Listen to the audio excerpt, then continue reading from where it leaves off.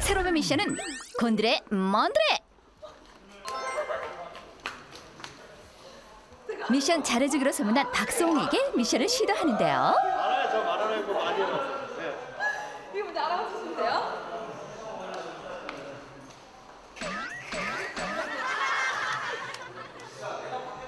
디스코.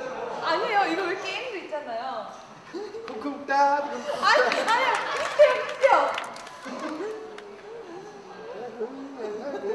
이거 뭐야? 모르겠습니다. 세훈 씨가 네. 이해를 잘못한 것 같아요 지금. 왜요? 제가 볼게요. 제가 볼게요. 자, 이거 이거 이거 이거를 제가 내드릴게요. 이거. 예. 반대로. 아, 예, 예. 제가 네, 내볼게요. 그러세요. 예. 아유.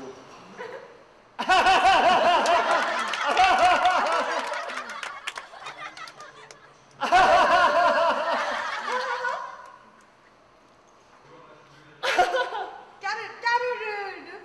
안 되겠어요. 이거, 이걸 못 맞추시네. 간질 간질. 아, 건지가지. 아니 미션 실패해요. 아,